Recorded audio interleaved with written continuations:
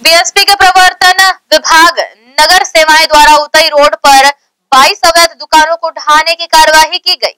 कब्जेदारियों द्वारा ज़मीन के नीचे से जा रही 11 केवी बिजली लाइन के ऊपर निर्माण कर लिया गया था। अवैध निर्माण के कारण 11 केवी बिजली लाइन के संधारण कार्य में बाधा आ रही।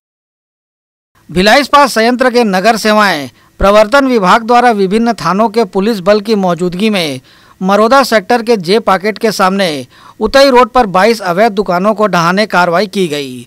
अवैध दुकानों के कारण 11 केवी विद्युत लाइन में ब्रेकडाउन होने पर इसके संधारण कार्य में बाधा आ रही थी। संपदा न्यायालय द्वारा टिकरी पारित अवैध कब्जेधारियों को अवैध निर्माण को हटाने के लिए आदेश पारित किया गया था। इसी आदेश के परिपालन में पूर्व में सभी संबंधित पक्ष को अवैध निर्माण हटाने समझाइश दी गई थी। इसी के तहत प्रवर्तन विभाग द्वारा भारी पुलिस बल की मौजूदगी में तोड़फोड़ कर दुकानों को ढाया गया। बीएसपी के अधिकारियों ने बताया कि 11 केवी केबल और पाइपलाइन पर बनी दुकानों को नहीं हटाया जाता तो कभी भी गंभीर दुर्घटना हो सकती थी। ये कदम लोगों की सुरक्षा के लिए जनहित में उठाया गया है। ग्रैंड एशियन न्यूज़ के लिए संजय दुबे।